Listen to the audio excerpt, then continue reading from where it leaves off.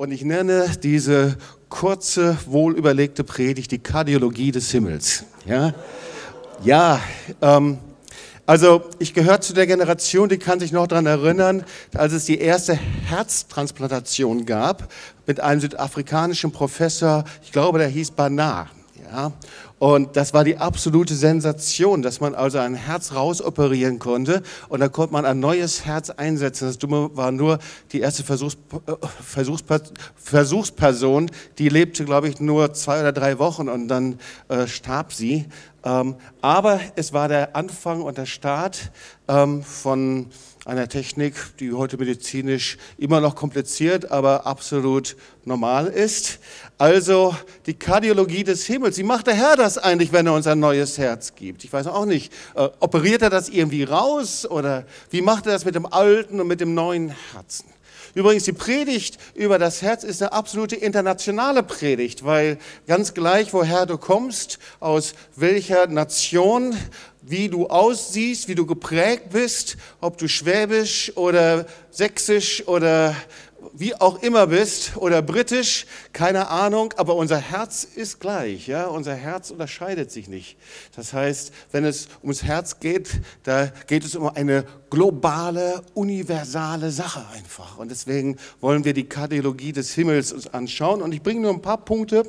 Ähm, zuallererst wiederhole ich das, was ich gestern gesagt habe, nämlich diese Verheißung, die da ist. Gott spricht, ich schenke euch ein neues Herz und lege einen neuen Geist in euch. Die kann man aus unterschiedlichen Perspektiven sehen. Die Frage ist, welche Perspektive haben wir? Die erste Perspektive war die Perspektive Israels. Das heißt, im Buch Hesekiel, Hesekiel gehört zu den großen Propheten, da ist also ähm, Hesekiel in der babylonischen Gefangenschaft, Jerusalem war zerstört worden und so stehen sie kurz davor, wieder zurückkehren äh, nach Jerusalem, nach Israel und Hesekiel prophezeit und sagt Folgendes, da muss erst etwas in unseren Herzen passieren, bevor der Heilige Geist uns neu heimsuchen kann, uns neu berühren kann, bevor der Tempel neu aufgebaut wird. Das heißt, wir brauchen ein neues Herz und einen neuen Geist. Das heißt also, diese Vision geht in die Zukunft. Das Zweite ist, diese Verheißung hat auch einen anderen Aspekt, sie liegt in der Vergangenheit.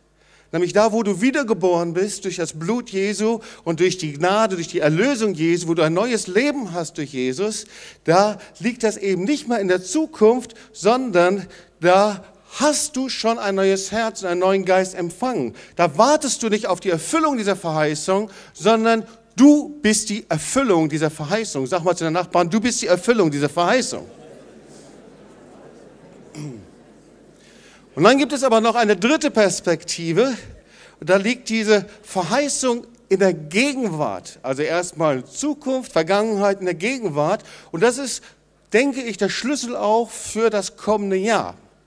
Nämlich, wir lesen in Kolosser 3, Vers 10, dass etwas mit unserem Herzen passieren muss. Unser Herz muss jeden Tag erneuert werden.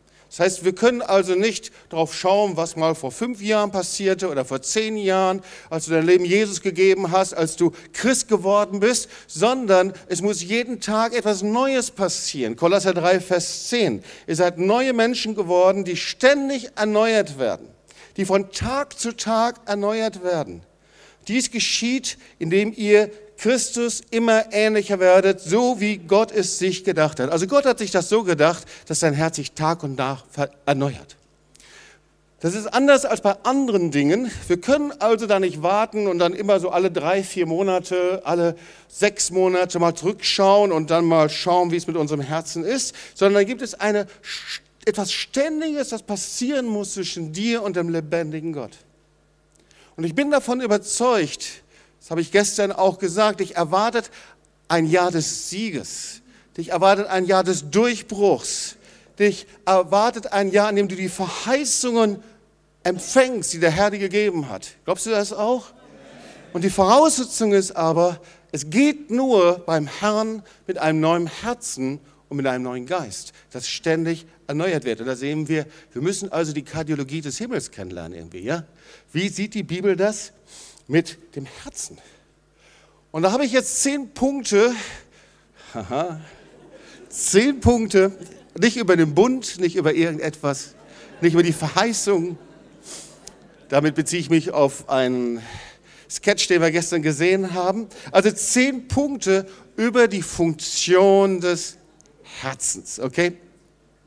Manche Dinge sind uns selbstverständlich, aber doch nicht ganz, weil wir müssen uns das vergegenwärtigen. Es gibt eine Geschichte, 1 Samuel 25, Vers 37, über David. David kommt mit seinen Streifscharen zu einem bestimmten Ort. Sie haben Hunger, ich weiß nicht, wie viele sie sind, auf jeden Fall eine große Menge. Sie haben Hunger, sie kommen an einem Ort und sie kommen zu einem Mann, der hieß Nabal. Nabal und Abigail, er war verheiratet mit Abigail.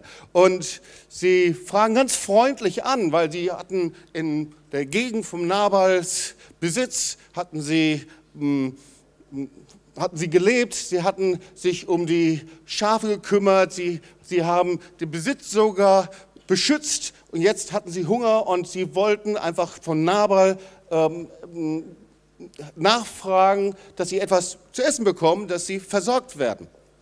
Und wir wissen, was mit Nabal passierte. Er hat das sehr grob zurückgewiesen. Ich will mal das Wort lesen. Als es aber Morgen ward und die Trunkenheit von Nabal gewichen war, sagte ihm seine Frau alle. Und zwar, was passierte war, dass Abigail eben hinging und versorgte gegen Nabals Wunsch die ganze Streifschar, weil sie wollte nicht, dass das Gericht über sie kommt, dass David sie als Familie eventuell bestrafen würde. Und gegen Nabals ähm, Wunsch ging sie hin und versorgte die ganze Streifschar. Und Nabal, so steht es da, erstarb, da erstarb sein Herz in seinem Leib und er ward wie Stein. Das ist also die erste Funktion. Ein Herz kann sich verschließen und kann aufhören zu schlagen. Wer weiß, dass das so sein kann? Übrigens, das ist auch eine rein medizinische Sache. Kann ich dir aus eigener Erfahrung sagen, zumindest das mit dem Verschließen, wie schnell das gehen kann. Ja, so passiert ein Herzinfarkt, dass ein Herz sich verschließen kann, dass ein Herz ja, sich äh, verschließen kann und fängt dann an, dass Teile von dem Herzen anfängt zu sterben. Und das ist, was hier beschrieben wird. Er starb sein Herz in seinem Leib und er ward wie Stein. Und dann können wir nachlesen, dass er nicht sofort starb, sondern dann nach zehn Tagen starb er. Und der Grund war, ein Geistlicher, nämlich, so lesen wir, er war grob, unehrlich, undankbar und geizig. Sein Herz verschloss sich. Die erste Funktion, ein Herz ist nicht einfach nur etwas Neutrales, es kann sich verschließen und aufhören zu schlagen. Und da sehen wir auch schon die Doppelbedeutung. Da geht es eben nicht nur um Medizin, sondern geht es anscheinend auch um etwas Geistliches. Da sehen wir eben beide Funktionen. Es kann sich verschließen und kann aufhören zu schlagen. Das zweite Punkt schauen wir uns an. Da geht es um eine Geschichte, in der David berufen wurde. 1 Samuel 16, Vers 7, da kommt Samuel und er schaut sich die Brüder Davids an und da sagt der Samuel folgendes, da sagt, spricht der Herr zum Samuel, sieh nicht an sein Aussehen und seinen hohen Wuchs, ich habe ihn verworfen, denn es ist nicht so, wie ein Mensch sieht, und er sieht da Saul, ja, sondern ein Mensch sieht, was vor Augen ist, der Herr aber sieht das Herz an. So, das heißt, das Herz steht im Gegensatz zur äußeren Erscheinung. Wenn du jemanden anschaust, dann weißt du aber nicht, was in seinem Herzen ist unbedingt was ihn bewegt, welche Gedanken da sind. Schau mal deinen Nachbarn links und rechts mal ganz kurz in die Augen und du wirst nicht unbedingt sofort sehen, was und mit welcher Motivation er aufgestanden ist.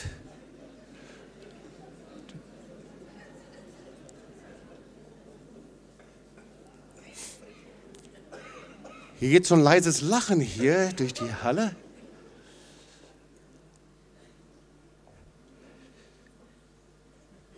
An deinem Äußeren kannst du nicht erkennen, welche Haltung und welche Gedanken in einem Menschen sind.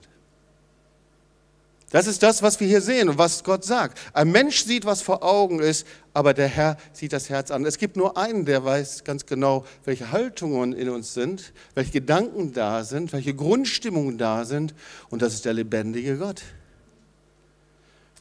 Das ist schon der zweite Punkt. Das Herz steht im Gegensatz zur äußeren Erscheinung. Kommen wir schon zum dritten Punkt. Im Herzen werden Lebensentscheidungen gefällt. Sprüche 24, Vers 12. Sprichst du, siehe, wir haben es nicht gewusst. Für wahr, der die Herzen prüft, merkt es, und der auf deine Seele acht hat, weiß es und vergilt dem Menschen nach seinem Tun. Das heißt, im Herzen sind Entscheidungen, die unser Leben bestimmen. Und sehr oft ist es so, dass niemand das wahrnimmt. Manchmal ist es sogar, dass du es selber vergisst. Aber diese Entscheidungen können unser Leben so prägen, dass es einen bestimmten Verlauf nimmt. Es können gute Entscheidungen sein, es können aber auch schlechte Entscheidungen sein. Und das ist, was wir hier in Sprüche nachlesen können. Es werden Lebensentscheidungen gefällt, die vor anderen Menschen verborgen sind. Vielleicht bist du so, wie du bist, weil du in deinem Leben Entscheidungen gefällt hast. Vielleicht lebst du so, wie du lebst, als Christ oder nicht als Christ oder Dinge, worauf du reagierst oder nicht reagierst, weil eben Entscheidungen gefällt worden sind im Herzen. Entscheidungen, so zu leben, wie Gott es sagt, Entscheidungen, anders zu leben, Entscheidungen gegen das Elternhaus, Entscheidungen gegen Menschen, die dich verletzt haben, Entscheidungen, die dich eben so, ähm, Situationen, die dich so mitgenommen haben, dass du sagst, das will ich nie wieder so erleben. Aber im Herzen werden Lebensentscheidungen gefällt, die von Menschen verborgen sind. Die Entscheidung, die mich am meisten geprägt hat, war sicherlich die Entscheidung, dass ich Jesus nachfolgen wollte. Es war irgendwann mal ein Punkt, an dem ich sagte, ich möchte nicht nur nach einem äußeren Glauben leben oder nach einer äußeren Form, sondern ich möchte diesem Gott begegnen. Ich wusste nicht wie oder was. Und die erste Entscheidung, die ich fällte, die war nicht in einem Gottesdienst, die war nicht in, einem, in einer Evangelisation, obwohl ich da auch war, sondern die erste Entscheidung, die ich fällte, ich weiß noch, da war ich Teenager und ich dachte über Gott und die Welt nach, so wie Teenager das tun. Aber ich wusste, ich will irgendwie diesem Gott begegnen, aber ich wusste nicht, wie das geht. Eine ganz kleine Entscheidung nur. Eine ganz kleine Entscheidung nur. Es gibt so viele Entscheidungen, die uns prägen können, dafür oder dagegen. Ich weiß noch, wie ich dann eingeladen wurde von Christen und Freunden in einen Gottesdienst und ich begegnete dem lebendigen Gott und ich überlegte dann, wie ich weiterleben wollte. Sollte das nur eine christliche Erfahrung sein, mehr, oder wollte ich wirklich mehr? Die Entscheidungen unseres Herzens sind immer Entscheidungen, ob wir mehr wollen von Gott oder ob wir unser eigenes Leben leben wollen. Und ich wurde eingeladen in einen Gottesdienst, der etwas anders aussah als dieser Gottesdienst, sehr traditionell, sehr fremd. In so einem Gottesdienst war ich noch nie gewesen. In einer Kirche mit Holzbänken, mit Orgelmusik, mit Aufstehen und Hinstehen, ich meine, das tun wir auch. Mit Chorälen, mit Liturgien, mit äh, vorgefertigten Formen. Und ich wusste nicht, wie ich jetzt weitergehen sollte. Ich dachte, es wäre ein einmaliges Erlebnis, weil mein Vater lehrte mich und viele andere auch, du kannst doch Gott individuell folgen und ihm individuell begegnen. Und dann stand ich vor einer Entscheidung, wie wollte ich weiterleben. Und Freunde sagten zu mir, wenn du Jesus nachfolgen willst, dann braucht es ein paar konkrete Schritte. Wenn du möchtest, dass dein Herz erneuert wird, dann heißt das auch, dass du kleine Gehorsamsschritte gehen musst. Und diese kleinen Gehorsamsschritte war, dass du dich immer wieder neu dem Wort Gottes auslieferst, der Predigt auslieferst, dass du anfängst, in der Bibel zu lesen, dass du anfängst, mit Christen zusammen zu sein. Und jedes Mal musste ich eine Entscheidung fällen in meinem Leben. Ich hätte mich dafür oder dagegen entscheiden können. Es gibt so viele Entscheidungen, die uns prägen, wie wir leben und wie wir weiterleben. Es gibt Entscheidungen, die prägen uns, wie wir Beziehungen leben mit anderen Menschen. Entscheidungen, die uns prägen, wie wir uns gegenüber dem Mann verhalten oder gegenüber der Frau verhalten, wie wir gegenüber der Ehe stehen oder wie wir gegenüber Verbindlichkeit und Treue stehen. Und viele Herzensentscheidungen kommen eben aus unseren Erfahrungen, die wir gemacht haben. Sie spiegeln diese Erfahrungen wieder. Im Herzen werden Lebensentscheidungen gefällt. Sprüche 24, Vers 12. Vor Menschen ist das verborgen und manchmal ist es sogar vor uns selbst verborgen. Wir wissen gar nicht mehr, warum wir so ticken, wie wir ticken. aber wir lesen hier, aber vor den Augen Gottes ist es sichtbar. Sobald wir in die Nähe Gottes kommen und uns ihm ausliefern und ihm nahen, dann naht Gott sich uns, egal woher wir kommen, wie fromm oder nicht fromm wir sind, wie christlich oder nicht christlich geprägt wir sind. Und dann kommt das Scheinwerferlicht Gottes und er zeigt uns die Motive unseres Herzens und er hilft uns, sie zu korrigieren. Der vierte Punkt ist, das Herz ist der Ort deines inneren Gemütszustands. Das, was wir oft nicht sehen können, ist, wie unser innerer Zustand ist. Manchmal kann man es sehen, manchmal spiegelt sich in unserem Gesicht wieder. Aber unser Zustand ist eben ein inneres Misstrauen oder dass wir negative Erfahrungen gemacht haben, negative Erwartungen haben. Es gibt aber so einen inneren Gemütszustand. Manchmal ist es Bedrückung, Menschen, die nicht aus ihrer Bedrückung herauskommen. Und, äh, und diese Bedrückung wird zu einem Teil ihres Lebens. Oder aber dieser innere Gemütszustand, das wären Ängste, die ich ständig überall erwarte und meine Verhalten, meine Entscheidungen und das, was ich tue, wird eben von diesen Ängsten geprägt, meine Beziehung, die ich eingehe. Ein innerer Gemütszustand sind genauso auch zum Beispiel Vorbehalte, dass ich Menschen und andere Dinge, Situationen mit einer negativen Brille sehe. Und oft ist es so, wir beneiden dann die Menschen, die so positiv sind und die auf alles zugehen können. Und wir wollen das gerne auch, aber wir haben diese Brille auf. Oder aber es ist zum Beispiel auch dieser Zustand der Entmutigung. Viele haben diesen inneren Gemütszustand wie eine ständige Mutlosigkeit, Entmutigung. Und das ist das, worüber Psalm 25, Vers 17 schreibt. Die Angst meines Herzens ist groß. Das heißt, der Gemütszustand in meinem Herzen, der ist so groß. Und dann ist es eine Bitte, ein Gebet. Und da steht, führe mich, in den meisten Bibeln steht, aus meinen Nöten. Aber eigentlich gibt es eine wunderbare Übersetzung, so heißt es eigentlich, die Angst meines Herzens ist groß. Mein innerer Gemütszustand ist, engt mich ein. Und dann steht da, nicht nur führe mich aus meinen Nöten, sondern weite die Verengung meines Herzens. Und viele leiden an diesem inneren Gemütszustand wie an einer inneren Verengung. Das ist übrigens, auch wenn man Herzprobleme hat oder ganz gleich, wie sie aussehen, es ist eine innere, wie eine Verengung, wie ein enge Gefühl, das man spürt. Das ist auch im medizinischen Bereich oft so. Und hier wird dieses Wort übertragen auf den Gemütszustand, eine Enge, eine Verengung des Herzens. Ich habe nicht die Weite, die eigentlich Gott mir geben möchte. Ich fühle mich behindert und ich fühle mich begrenzt in dem, wie ich mit Gott gehen möchte und in meine Möglichkeiten. Und das würden viele dann eben auch so unterschreiben, sagen, dieser Gemütszustand, der beengt mich in dem, was ich eigentlich tun möchte. Die Bibel schreibt da genauso drüber. Und da lesen wir noch mehr in dem fünften Punkt, da geht es um ein weites Herz, was Gott eigentlich geben möchte. Ein neues Herz. Das ist nicht einfach, dass es gut schlägt, sondern er führt in die Weite. Psalm 119, Vers 32. Ein wunderbares Wort. Ich laufe auf den Weg deiner Verheißung. Und ich meine, wer möchte das nicht? Du könntest eine Umfrage hier auf der Straße machen. Du könntest überall hingehen. Wer möchte die Verheißung Gottes empfangen? Das hört sich gut an, das will ich. Aber da steht etwas, und zwar ein weites Herz läuft auf dem Weg der Verheißung.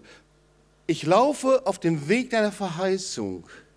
Du weitest mein Herz. Oder anders ausgedrückt, den Weg deiner Gebote werde ich laufen, denn du machst mir das Herz weit. Ihr Lieben, es gibt so eine Herzkrankheit unter Christen. Und diese Krankheit ist die Krankheit der engen Herzen. Und diese Krankheit der engen Herzen ist, dass ich andere Menschen beobachte und ich selber so auf Sicherheit bedacht bin und so auf mich selber bezogen bin, dass ich nicht wage, abhängig zu sein vom lebendigen Gott. Und dann unterwerfe ich alle Dinge meinen eigenen Vorstellungen, den meisten Dingen, meiner eigenen begrenzten Vorstellungen. Und weil diese neuen Dinge mich dann bedrohen, versuche ich sie eher zu verhindern, als dass ich mich dafür öffne. Ein weites Herz ist etwas, das Ja sagt zu den Plänen Gottes. Ein weites Herz ist ein Herz, das sich vertrauensvoll in die Hände Gottes legt. Ein weites Herz ist das Herz, das Gott gebrauchen kann, um Neues, einzu, neues Land einzunehmen und Neues anzuvertrauen. Ein enges Herz ist meistens missgünstig. Und das will ja niemand sein. Wer will schon missgünstig sein? Ich glaube, wenn ich ja fragen würde, wer ist missgünstig, dann würde jeder sagen, ich auf jeden Fall nicht. Also missgünstig ist eigentlich, dass ich den anderen beobachte und sage, warum geht es dem denn so gut und mir nicht so gut? Warum hat der und die das, was ich nicht habe? Ein enges Herz ist auf Sicherheit bedacht und versucht sich selber diese Sicherheit zu verschaffen, als dass er seine Sicherheit beim lebendigen Gott sucht. Ja, bei der Kardiologie des Himmels schauen wir uns den sechsten Punkt an. Und da schlägt die Bibel Folgendes vor. Es gibt etwas viel Besseres als ein enges Herz. Und das ist ein gelassenes Herz. Sprüche 14, Vers 30. Ich habe das gestern schon kurz erwähnt. Ein gelassenes Herz ist des Leibes Leben, aber Wurmfraß in den Knochen ist die Eifersucht. Das ist ein heftiges Wort, oder? Aber das könnten Mediziner unterschreiben. Ein gelassenes Herz wirkt sich auf alle Lebensbereiche aus und fördert die Gesundheit. Das ist also fast wie aus einem Buch über Stress. Ja? Und das ist das, was hier steht. Und wir leben leider in einer Stressgesellschaft, wo eben Gelassenheit nicht das ist, was uns prägt, sondern im Gegenteil. Angespanntheit, unausgeglichen sein, unruhig, friedlos, gestresst, das ist Gegenteil von Gelassenheit. Also der Herr möchte ein neues Herz, ein, ein, ein Herz, das sich täglich erneuert. Das ist die Antwort darauf. Also das heißt, Gesundheit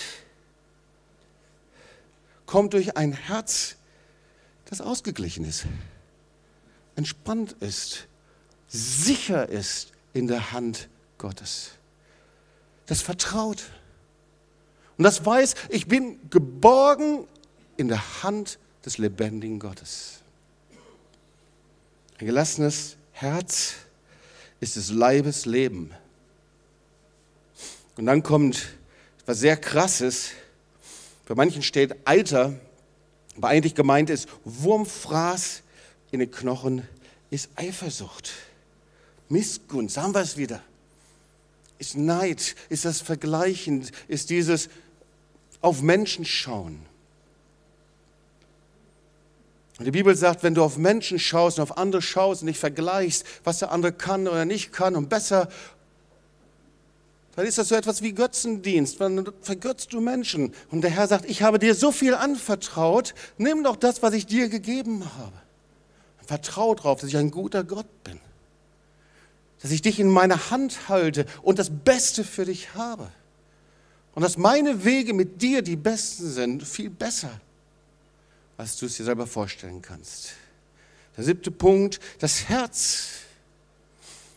Und jetzt sind wir schon wieder bei der Gesundheit hier. Das Herz ist der Ort der Freude, wodurch alle Lebensbereiche beeinflusst werden.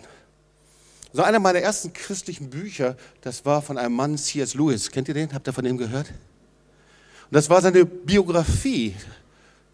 Er war Professor, soviel ich weiß, in Oxford oder Cambridge, in einer dieser beiden Universitäten. Und seine Biografie hieß Überrascht durch Freude. Und er beschreibt daran, wie er mit seinem Intellekt versucht, einfach eine Beziehung zu Gott aufzubauen und ihnen das sehr schwer wurde. Und dann gab es einen Faktor und das war die Freude Gottes. Und diese Freude Gottes in seinem Herzen, das war das, was ihn überführte. Sprüche 17, Vers 22. Ein fröhliches Herz ist die beste Medizin. Wer weiß das?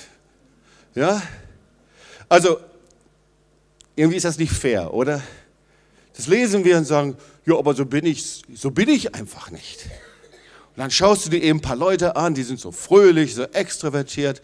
Und dann denkst du folgendes, so sind wir, naja, das ist denen eben in die Wiege gelegt worden. Das ist so ein Sonnenschein. Die lachen eben immer und die sind eben immer fröhlich, aber ich bin so itte. So bin ich nicht. Aber die Bibel sieht das ein bisschen anders. Die Bibel spricht über die Kardiologie des Himmels und sie, sie gibt Maßstäbe und Verheißungen, die sie nicht hinhält wie irgendwelche Würstchen, nach denen du schnappen kannst und vielleicht bekommst du sie oder nicht.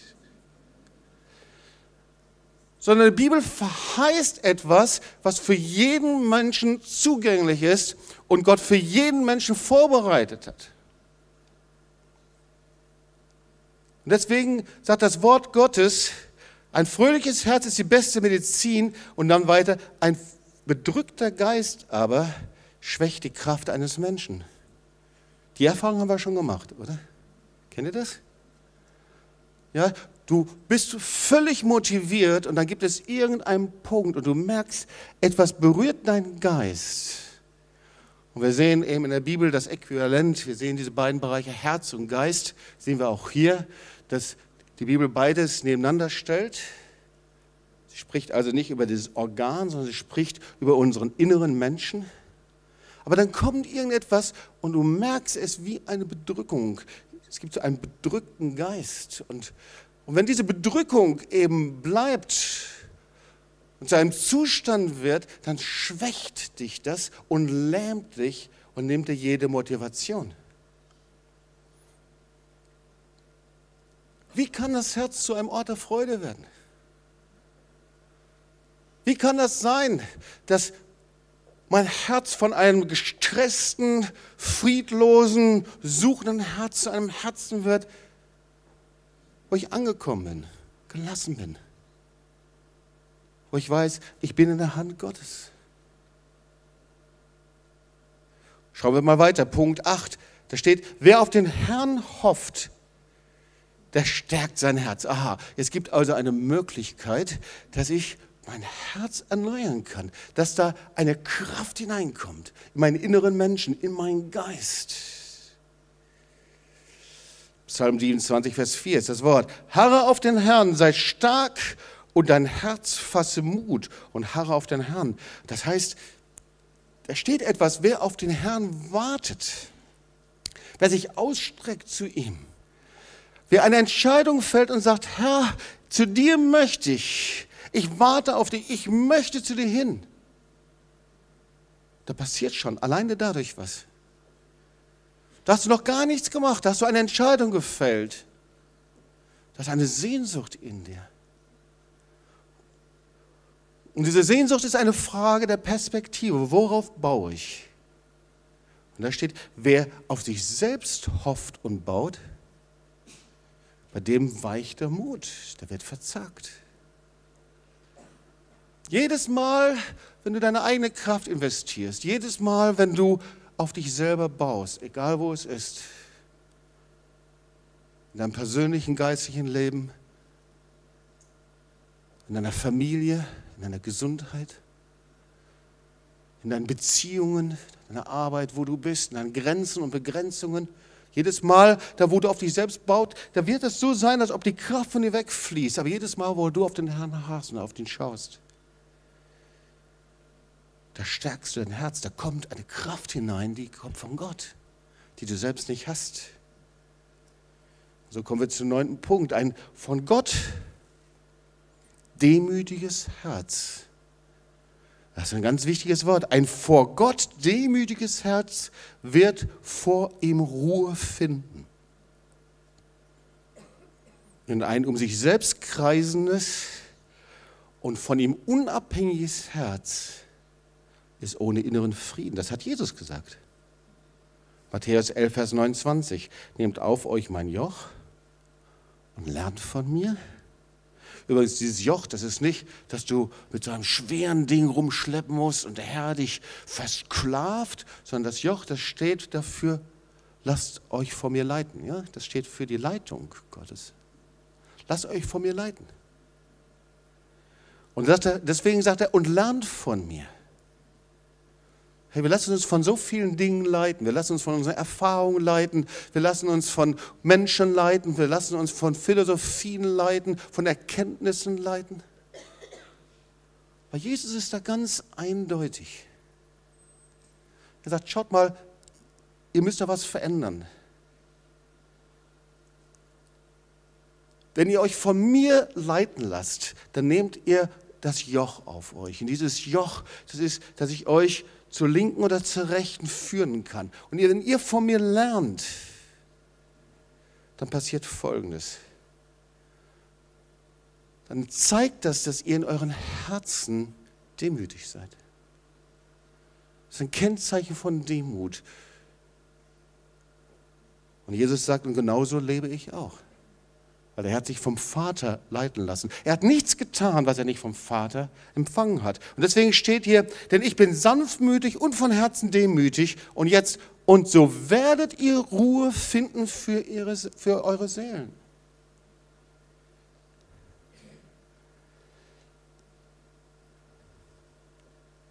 Wer so lebt, findet Frieden bei Gott. Ihr Lieben, das größte Problem ist, wenn wir als Christen so leben, als ob wir Gott gefunden hätten, aber du bist voller Unfrieden. Du bist voller innerer Kämpfe. Du bist nicht angekommen. Du bist nicht innerlich bei ihm. Da ist keine Ruhe in dir. Wie schrecklich. Und Jesus sagt was ganz anderes. Ein vor Gott demütiges Herz lässt sich von mir leiten. Und das wird Ruhe finden. Auch in Stürmen, in Krisen. So wie Jesus auf diesem stürmenden Meer in diesem Boot lag und die Stürme gingen hoch und die Wellen gingen hoch und die Jünger wunderten sich, dass er ganz ruhig schlief. Einfach weil die Ruhe Gottes, die Ruhe des Vaters in ihm war. Und so kommen wir zum zehnten und letzten Punkt. Das Herz ist der Ort deines Begehrens und Verlangens. In jedem Mensch gibt es eine Institution, die begehrt etwas, die verlangt etwas, die möchte etwas. Und jeder Mensch füllt sich dieses Begehren und erfüllt sich diese Begehren, diese Verlangen auf unterschiedlichste Art und Weise. Und ich möchte dir die Frage stellen, wer stillt das Verlangen deines Herzens? Die Bibel nennt das auch manchmal Hunger und Durst. Wir haben Hunger und Durst. Also nicht nur unser physischer Hunger und Durst, sondern der Hunger und Durst unseres Herzens. Psalm 21, Vers 3. Denn du hast ihm erfüllt, was sein Herz wünscht. Und hast ihm gegeben, um was er dich bat. Was für ein Hammerwort. Gott hat erfüllt, wonach wir wünschen, wonach wir verlangen. Die Frage ist aber, wohin ist dein Verlangen ausgerichtet? Wer stillt dein Verlangen? Wird es Jesus sein, der König und Herr? Der Lebendige, der Friedefürst? Stillt er dein Verlangen?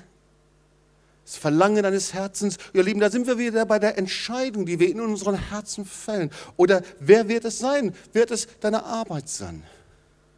Oh, sagst du, weißt du, Jobs, ich bin lange unterwegs, ich bin Christ, ich bin engagiert in der Gemeinde. Und doch kann dein inneres Verlangen, dein Bedürfnis von deiner Arbeit ausgefüllt werden.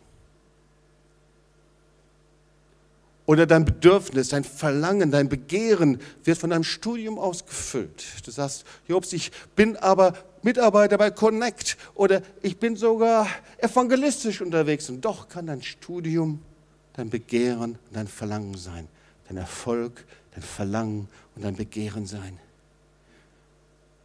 Es kann dein Geld sein, es kann dein Ansehen sein, es kann dein Wunsch sein, jemand zu sein. Es kann dein Wunsch sein, etwas darzustellen. All das kann unser Begehren und Verlangen sein. Wie ist das? Oder ist dein Begehren und Verlangen alleine der König der Könige und der Herr der Herren? Das Verlangen deines Herzens, ihm zu begegnen. Denk mal kurz drüber nach. Wann bist du ihm das letzte Mal ganz persönlich begegnet? Ich würde hier nicht stehen, wenn ich diesem König der Könige, wenn ich Jesus, dem lebendigen Gott, dem Auferstandenen nicht begegnet wäre. Und ich kann das eben nicht nur wie in der Vergangenheit erzählen, sondern diese Begegnung mit Jesus, die erneuert dein Herz Tag für Tag. Jeden Tag neu. Und er begegnet, dich, und er begegnet dir nur, wenn deine Verlangen und deine Begehren richtig ausgerichtet ist. Oh ja, er möchte dir viele Dinge geben. Er möchte dich beschenken, er möchte dich segnen, er möchte dir zeigen, wie sehr er dich liebt. Er möchte, dass du deine Gaben gebrauchst. Aber die Frage ist, woran hast du deine Lust, deine Freude, dein Begehren? Psalm 37, habe deine Lust am Herrn. Der wird dir geben, was dein Herz begehrt. Das ist die Institution unseres Herzens. Wer, wer stillt dein Verlangen? Und weißt du, wir sind die glücklichsten Menschen. Du bist der glücklichste Mensch, wenn du in deinem Herzen eine Entscheidung fällst. Und all das, was das bis jetzt zugedeckt und bedeckt hat, dein Begehren, dein Verlangen in so unterschiedlichen Richtungen war, wenn du neu zu Jesus kommst, zu ihm, den Herrn und König, ihm zu begegnen, zu ihm kommst, ihn anzubeten. Ich möchte eine Verheißung zum Schluss lesen. Die habe ich so zum ersten Mal aus diesem Psalm gelesen. Du kannst deinen eigenen Namen einsetzen. Was passiert, wenn ich mein Herz auf ihn ausgerichtet habe? Jesus will dir, wenn du ihm noch nicht begegnet bist, will er dir heute ein neues Herz geben, einen neuen Geist. Ein neues Herz ist eine neue Chance, ein neuer Anfang. Ein neues Herz, ein neuer Geist ist, dass du nicht mal so leben musst, wie du vorher gelebt hast, sondern dass dein Herz anfängt zu schlagen, weil es berührt ist von der Liebe Jesu. Wow, wie wunderbar. Und dann liest du diesen Psalm hier. Und du kannst deinen eigenen Namen einsetzen. Psalm, Psalm 21. Herr, du König, ich freue mich über deine Stärke. Ich juble laut vor Freude über deine Hilfe. Denn du hast in mir erfüllt, was mein Herz wünscht. Du hast mir gegeben, um was ich dich gebeten habe. Würdest du gerne deinen Namen einsetzen da? Du hast mich mit reichem Segen überschüttet und hast mich mit einer goldenen Krone gekrönt. Ich bat dich um Leben und du hast mein Gebet erhört und hast mir ewiges Leben geschenkt. Willst du das vielleicht tun heute? Dass du heute um Leben bittest, um neues Leben und das Leben, das durchtränkt ist von der Liebe Gottes, von seiner Gnade, von seiner Erlösung. Durch deine Hilfe bin ich zu großem Ruhm erlangt. Ihr Lieben, und dieser Ruhm von Gott ist etwas ganz anderes als der Ruhm dieser Welt. Das ist ein Ruhm im Himmel. Ihr wisst, im, Ru im Himmel gibt es etwas, eine ganz andere Wertigkeit als hier auf der Erde. Durch deine Hilfe bin ich zu großem Ruhm gelangt und du hast mir Glanz und Herrlichkeit verliehen. Du machst mich für alle Zeiten zum Segen für andere. Boah, das möchte ich gerne, du auch. Zum Segen für andere. Du erfüllst mich durch deine Gegenwart mit Freude. Hier hast du alles, was das Herz ausmacht.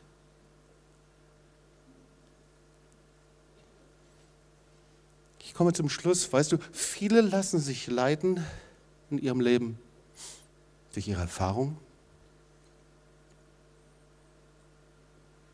Andere lassen sich durch ihr Wissen leiten oder durch ihre Vernunft Andere, das ist ja ein modernes Wort heute, durch ihr Bauchgefühl. Aber ein neues Herz, ein neuer Geist, das ist die Instanz, die der Heilige Geist leiten kann. Du brauchst die Leitung vom Heiligen Geist. Er will dich an die Hand nehmen. Er will dich leiten. Und vielleicht ist es so, dass du heute, wenn wir gleich zusammen beten, dass du dein Herz ihm neu auslieferst. Vielleicht war es falsch ausgerichtet. Vielleicht ist es erfüllt mit diesen Dingen, die du nicht willst. Vielleicht war es so, dass du es verpasst hast, dass es Tag für Tag erneuert wird, sondern du denkst zurück an irgendwelche Erfahrungen, die du mal gemacht hast und davon lebst du. Aber das ist doch viel zu schade. Vielleicht ist es, dass du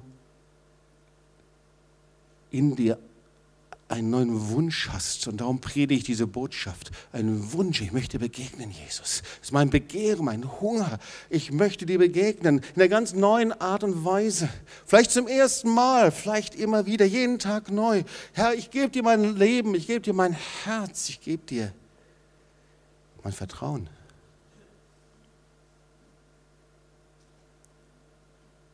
Harre auf den Herrn und er, und er stärkt dein Herz. Komme zu ihm hin und weißt du, auf so ein Gebet wird er immer hören. Gott hat dich erwählt, er hat einen wunderbaren Plan für dein Leben. Da sind so viele Menschen, die darauf warten, dass du deine Geschichte, dein Zeugnis weitergibst, dass du von dem erzählst, was der Herr in deinem Herzen gegeben hat. das ist Gottes Plan anscheinend für 2017. Die Revolution der erneuerten Herzen. Halleluja. Menschen, die mit einem neuen Herzen, mit einem neuen Geist leben. Komm, lass uns aufstehen und wir wollen zusammen beten.